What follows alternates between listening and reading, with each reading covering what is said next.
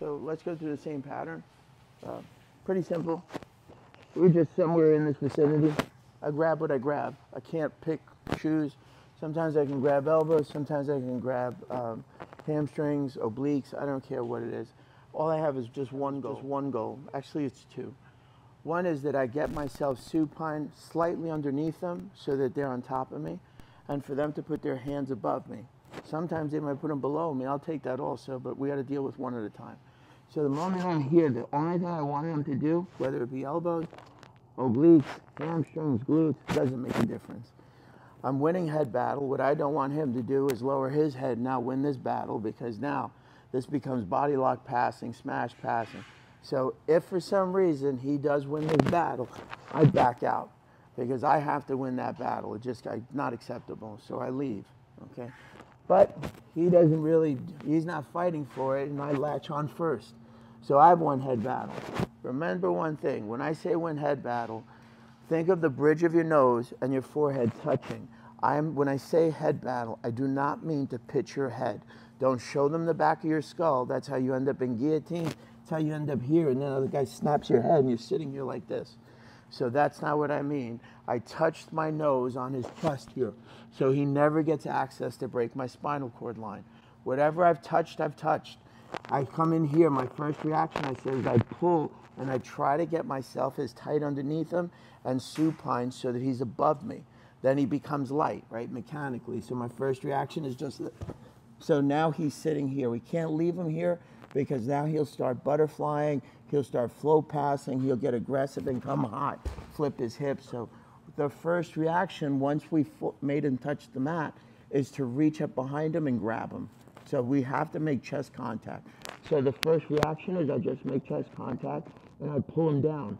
So I'm holding aggressively onto this mantle. Now my second thing is we were reversing, but this time we're going to isolate. So we'll do one reversal, one isolation. So we're here holding on. I'm going to extend one leg and take this arm. So the moment I slide him out, I'm going to ask you to use this hand that's on this side. Might not seem like it has a purpose right now. When I slide him out, he's going to aggressively come back. So upon sliding, I block because he might come back at me right now. I don't know if he is. He might stay here. We're going to assume that he stays here at this point. So I block just in case. But if he did come forward, I'm ready to pair my hands up and throw him over. Okay? So my first reaction is to isolate him. My second reaction is I would like to. This pattern goes different ways. It's not always the same. Sometimes I may grab onto his elbow if I can feel the elbow and the tension at my neckline, and I hold the rotation of the elbow to start hiking it up. This time I'm going to say no. He's kind of far away, and I'm going to sit here and try to, he's probably going to leave me. So when I first landed, I was like this at this point. I first landed, I floated, I blocked. I'm pushing his skull for a reason because I want to put my knee in front of his face so that I can own this arm. Okay, if for some reason he were to try to stand up on me, I take this leg, Ted, go slow, go slow. I take this leg out first so that I can try to capture his skull so he doesn't come up on me so that I can make this transfer doing omoplata to come low. But that's just a sequence that you're thinking at this point. So he's not coming up yet at this point. He's come up, I'm here blocking. I'm pushing away, putting my knee line in. So now I'm holding onto this arm. The only thing I'm doing is looking for the elbow line so that I can pull this guy down and now release the top leg to capture the hip line. Upon I do that, this leg isn't serving me a purpose right now, so I'd love to shoot it through and catch his, catch his calf on the far side. So now we're perfectly set to finish the Kimura. Come back a second. Right, so to do it again. I pick up, he lands. Upon landing, I can't leave him here. I float and drop. Upon floating and dropping, I'm pushing him away to isolate this limb. Upon not letting go of it, I can go a couple of different ways. I can go omoplata. If he comes up, I can cap- sorry, he can capture the skull. Come back a second. Right? And I'm but I'm sitting here low. So my first reaction, I'm holding onto this elbow. I'm trying to rotate it to get to these el- to get to his wrist. As I pull it down, once I crack the elbow line, I touch the back of the hip. My next move is I don't want him jumping, so I lace the bottom leg to the calf. Now I'm perfectly set to finish the Kimura. Let's part of and do it. One, two, three. It's almost like having a weak link in a chain that's like, if you have that weak link, like the chain will just explode on you. You, you, you have to do them in a certain way. When I tell you like, hey, that doesn't matter in patterns, um, absolutely doesn't. Uh, but in some things it does. Like you can go out of pattern. Those things that I was saying when you're fighting for the yellow bow, like sometimes you're hiking up, those can go out of pattern. But there's certain things you can't. When you landed with him like that, I saw some people lifting like this with their hands, picking them up. Now you're assisting him. Now you're picking up like this, and his lower half is light as a feather, and he flips on me. I want to bring him down. I don't want to pick him up. If I'm going to pick him up, it's because I'm leaving the pocket. That I'm coming in here and taking this leg or lacing under the back leg and locking that guy up. But that's not the one we're doing. And that depends on your rule set. What if you are playing masters in anything? There's no heel hooks. And now what if you're playing IBJJ and like the guy's floating high, like you got to bring him down. Like I got to get him over. So depends on your rule set. Just make sure that you understand that. Um, but I want to bring him over, right? So I just landed with him like this, and now I'm floating him. And then I see some people so eager to touch their hands. But what if I touch my hands and he slides out too far? And I'm over here sitting behind the elbow line like this. And now I'm going to lose this every single time keep your hands apart. I don't know what's going to happen at this point. When I first floated him, what if Ethan was trying to run away from me? And I want to be able to catch his skull. But you're so focused on here. Like, I want to be this hand on that side of the deltoid because what I'm trying to do is control the rotation of the, of the shoulder line. Because if at the end of the day, if I can get this hand down here, then he can't come back and I can have an open hand, I can hit, I can lace, I can do push out for a triangle, I can do a lot of things. But my goal is just to break this elbow line because now I control this rotation in here. Now I, can, I have to worry about how big and strong you are, right? But I have to think about this mechanically with some vision and some thought behind it. So when I first landed like that, I'm like this because I don't know what's going to play out. And if I, and then when this first landed, if it's out here and Ethan's running away from me, and I'm going, damn, by now I can't even get to this skull because I'm sitting so low. By the time I reach like this again, I've lost this. And I'm going, man, I'm losing him hard and he's backing out on me. So now that's when I take this leg out and I switch because I've lost the whole deltoid. I've lost the head. I've lost everything. And he's leaving me at this point. So what's the last thing he left behind? he left the break of the elbow and he's leaving me here so my leg can come out. So he brought, he dictated this. I wanted this and I wanted to isolate here and I wanted to see if I can get a triangle in and I wanted to do all these things. I wanted to kick out your lower half. I wanted to reverse here. I never wanted to do any of the things that I just did. When I first landed, I was like this. And I had, and I'm like this. I really wanted to land so tight on this shoulder, come up a little bit higher. This is where I wanted to land. And you see, it's like I got to readjust them up here because sometimes they won't. And I wanted to rotate here, and I wanted to come so darn tight on this arm that I'm throwing him over the other way and mounting him. Like, it's really what I wanted to do. But now I just lost the line a little bit down, two inches. So I'm going, oof, I lost the deltoid line. So now I'm reaching for the skull. Now I've lost the skull and the deltoid line. Now I've lost a lot. Now I'm trying to play this gray area that I'm just. Now I'm trying to play this gray area that I'm hitting this. I lost the deltoid line. I'm hitting this low, and I'm going, damn, I can't reach for the skull anymore. Now he's hitting it down low. Now I'm going to omoplata because now this is the last break on the elbow that I got to make either flip it over to an armbar, flip it to an omoplata, or get some isolation that I make a rotation this way to break it this way to flip back to this leg on the hunt, whether this be a heel hook whether this be a toe hold. I don't know how it's going to play out, but you have to understand the pecking order and how you're trying to manipulate this man, right? So we're going to do everything exactly the same. You did a Kimura. Uh, one other thing is that I see some people taking the top leg and just putting it on the top over here. If you're trying to break this man's arm like this, and he's going to do everything to release the tension on this. So he's going to pick his hips up in the air to bring his hips to his arm. So if I have my leg here and I start cranking, he's just going to jump, right? So I want to try to be able to hold him down. So this leg, just don't leave it random on you, right? So you're going here And now I'm losing him, and I'm going, what? Um, I, I didn't lose him yet. I, I've hiked him up so tight that I realized like all I really wanted to do was get this bend so I could pull this guy down. And now I've cracked it. But if I stay here like this, he's going to jump. I want to be here because I'm looking to finish this, right? I want to be able to turn it over the top. And now Ethan can connect this with this, okay? So we're going to do two, right? One was the first one, right? And one I'm just going to ask you to get comfortable going into an omoplata, right? So you did everything exactly the same. Did the first one, made him land, I floated him out, and Ethan's backing out on me too fast. I'm like, it's not possible now. If I take my time and go like this, this arm will be down here and I'll go, oh, he just got out, right? So I'm like this at this point. I'm holding onto this arm. This is where I was. He's not coming back. I don't need this here. He's sliding that way. I'm going, oh, he's getting out on me. So my first reaction is just to take the leg out and drop it in front, right? Because I don't want to go this arm. What I really want to do at this point is I'm losing the line, but that's fine because the end product is he's got to get this hand out because at this point, all I have to do is move it a little bit right? It's not like what I had to do before with this whole alteration. But at the same time, when he's moving away, I'm taking this leg out to reface myself this way. So now I have a broken elbow line that I'm controlling. So it's the only thing I'm going to ask you to do.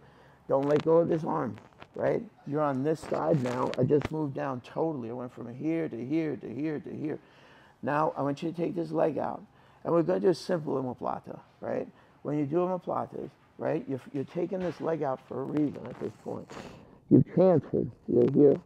You're here, they're backing out on you, and you're going, oh shit, I'm losing this guy really quick. So I take my leg out and I switch. I never let go of this elbow. Now I've cracked the elbow line. I'm going to ask you to do a couple of things. Let's keep it simple. I don't want to let go of this elbow. I bury this guy nice and tight on my hip line. I pick this hand up. Okay, there's a reason for it.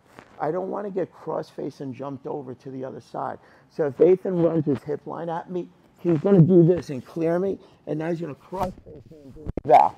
I don't want that to happen, right? So I just want to anticipate in case I have to catch him, right? So when I was here like this on the elbow, and Ethan's running, I want to be able to catch him because as he comes over, I want to come up also as being top players. I want to be able to catch him and throw him over. That's not really what I wanted to do. But if he's got a good escape, he's going to run his hip lines at me. So I have to be able to throw him over. Okay, but it is what it is. I'm here like this. So I'm going to ask you to do two things. If my hand was up like this, ready to anticipate the jump, and I don't want him clearing me to that side, so my hand's up. My legs are locked, elbows tight, hand is at the hip pocket. What did I want? to Still stay up on turtle. Okay. He's not running yet, so my kneecaps are facing this way. Before they were facing this way. So I took this leg out and I rotated. I'm like this. My hand was up. So what am I reaching for? His elbow. As I start scooting out, I'm trying to jam this kneecap and this heel underneath him as I pull. So as I land with him, my first reaction at this point, let him land because there's other alterations. If the person doesn't land, wasn't going to go to the move, I was going to go to this leg. So we're going to imagine that he landed. So don't be the partner that like your partner's pulling you down and you don't want to cooperate, come back up. Because if we weren't going to cooperate and I'm over here pulling, I'm coming up over the top for this leg. So that's where my alteration would be next because I couldn't get you down and I don't feel comfortable coming up and I'm going to lose you, right? So when you first transfer to this point, you're like this at this point. Come up, let him, let him. Just pull him down. Upon pulling him down, you don't own anything yet. Place your chin on this hip line. I need to hold them for a second. So I put my chin up and I put my elbow over the top. Now I don't need my chin. My first reaction is to put my heels as tight to my back as I can. My next reaction is see if I can grab this because now I can start riding up to really take this arm apart. Okay, so don't leave your legs out. I'm not like this. I'm holding the elbow line. I'm putting my feet together as tight to my glutes as possible. And even if I don't have this, as I start coming up, it's an awful finish. Tremendous generation of power in the lower half, right? So now you have two. You had the first one, right, where you did a Kimura. But on the second one, I'm jumping ahead, right, because it happened so fast. On the first float, I was like this. And what I really wanted to do is see if I could recollect him. Now I've caught him with a head and pinch, and now I start out these. But he's running too quick on me. So I'm like, oh, oh, I can't let him go right? So now we're starting to have an issue that he's really leaving me. And now I'm starting to lose it. Look where the elbow line is now. It's starting to get super low, and there's no way to recollect the top. So as he's backing out, my first reaction, I throw it over. I transferred a small transfer about four to six inches that way. Now I have the elbow line locked in the middle. I don't want him jumping. So my first reaction is a figure four so I don't lose this elbow. I tuck the hand to that pocket, tell my hands, I'm ready to catch him, right? Because I may take this toe hold. So even if I was gonna take the toe hold, the lace would be like this. So my first reaction is put my hands up. I'm looking for his toes, I'm looking for his hips. I'm looking to see backing out and break the hip. Upon breaking the hip, we don't have anything yet. I'm holding. I'm putting my chin over. I got my elbow up over the top. Now everything he does is anywhere we go from this point is based on him now because he's going to carry me off his back socket. I would love to be able to put my fingertips together. It's not the end of the world. I don't try to move from here. I try to do one thing, retract my feet as tight to me as possible so that I can stand vertical. That's what I really wanted to do. So if anything was, if I was standing vertical, but I can't stand vertical, my feet out here. Okay, I don't want to lose this elbow line. I'm sitting right back at it. So now you start to understand this pecking order. Like I'm losing it three inches, two more inches, one more inch. Like you don't have the move anymore. You already, we're at letter, at letter D and B and C left you already. Those are B and C before. So we're going to do letter A, jump to the last one where he backs out. Bottom player, sorry, yeah. Uh, bottom player, sorry about that. Yeah. He didn't say anything. yeah, I didn't think he was real. Yeah, yeah. Uh, bottom player, try to be, um, try to be conscious in the moment and feed him the correct move. Like you're backing out. Don't. He's not switching to an omoplata if he's sitting below on top of that deltoid line. Why? Like you, you don't even have. You can't even get your leg out. Like and now he's gonna sit. He even on his jump over, he's going to be sitting so tight on you when you clear his head that when his jump is just like basically sit backwards on the hip and you're going to be on that side, right? So that's why like I want to have some vision and idea of like, what am I really doing? What am I really trying to accomplish? Because if you have those memories and you are and you really ingrain them, see what I do. You're just going to have a qu- faster read and reaction speed. And the game is so much fun. It's like when somebody's so ridiculously strong and you can feel their strength, you go, man, but you're not doing anything but manipulating. Like that's really what you're doing, manipulating body joints and body parts and making these wedges. Uh, Jake, pay attention, sir. Um, uh, so let's partner up. Two, um, um, on two, we'll partner up. Let's rock some uh, reps in and uh, get a little bit better today. Let's do it. One, two. Look at him. I hope he made a new playlist. So. He doesn't even hear me. Ange asked about when this light comes out. Is that correct, Ange? Yes. Right? Yeah. So there's going to be a couple of little gray areas. I'll tell you really quick. Um, if for any reason, initially, when we went like this, and they make, you'll feel this. There'll be insane tension here where I've locked this in and I can potentially, I'll be here, and now slide down a little bit, right? Slide back. And if I can pinch this and just hike this with one elbow, it's going to be really bad for him. It's like very difficult because what I've done is make a Y wedge underneath the elbow line to make it face that way. So now he has an issue, okay? Once I have this elbow start bending, like there, even regardless, I have no hands right now. Ethan can't come back this way because the elbow is bent. Now the shoulder rotation. That's when this leg comes out, right? I don't want to really take this leg out because reason being, come back one second if for any reason I slide him out, right, and he went out this way, if I can get heavy tension on here, I can make stuff happen. Lift up for a little bit. I can start grabbing this hand, and now because I made this, let me just be right there. I made this tremendous isolation on this line right here, where I'm pushing so hard here. I've pinched my head and, and I'm owning this this elbow line. I mean the wrist, and I have this tension here and I'm seeing if I can grab onto his hand to take my leg out to throw a triangle up, right? So, or potentially kick this out so I spin this over the top. So you're reading these gray areas of what's my control of this elbow, right? Do I have a Y wedge? Am I biting on to this, right? That I'm controlling the rotation of the shoulder, all by this like structure of like I have a wedge under here. I bit my my uh, my neckline onto here. I'm controlling the rotate. Then I could take this leg out. But if I have this on a straight line like this, and, and I have control here, I don't have to go down that avenue. You're the artist. You can paint it a lot of different ways. And potentially you have a, a body like, like Zeke, that you're super long. Your triangles have good and bad things to them. Your good thing is that they can be super long. If, my, if his leg is out, he can capture. Bad thing is if the guy's playing tight with super long limbs, you can't get your limb out, right? And you're trying to take your limb out and your foot's still like about this far in. So it has good and bad to it, and it's what both sides on it too. Is if I'm the little guy, I take that limb out in one second, and I could throw that, and but he's backing out. I'm not getting a triangle, and it's a dumb move because if I throw the triangle up, small limbs, he's going to backstep it this way and pass me. I go, damn, you picked wrong. You totally picked wrong.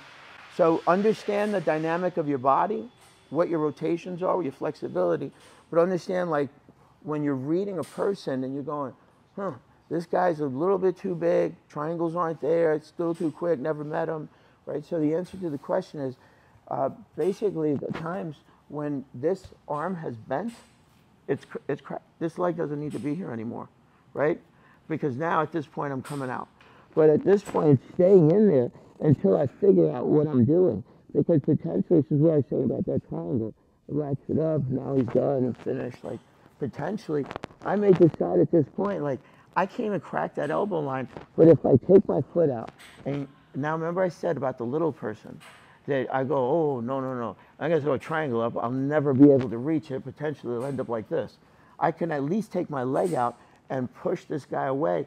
Now the elbow's facing this way again. And I go, okay, I'm in front of it. I've just laced it down. Now I've come back again. Right? So you can play this a lot of different ways, tons of different ways. It's so endless, the combinations on it. Right? So Good, long limbs are good, long limbs are bad. Short limbs are good, short limbs are bad. Never look at it as a negative. I just got to learn how to use my body. Okay? So, did that answer it? Yes, it did. Okay, all right, cool. Uh, two minutes before we get live, uh, we'll recapture on Wednesday to the same uh, transitions. We're just going to start moving it three inches. Three inches is where this one. And try your best to like think about it during the day. If you don't have the time to write, think about it. Run it through your head a bunch of times. Like it's a great story of a guy that played golf in, uh, in Vietnam. He was a POW for five years. He came out and he shot an amazing round. The guy said to him, uh, man, you haven't played in five years. How'd you do that? And he said, I played twice a day for five years. So uh, visualization, run those things through your mind if you don't have the time to write. We're all passionate about BJJ. Don't short yourself. The fun part of the game is when you're not the nail all the time. And you get to be the hammer sometimes. So, uh, yeah, yeah. But everybody, don't ever feel bad because unless you're Gordon Ryan, everybody is some form of a nail. So, uh, so let's have some fun. Let's do it, guys.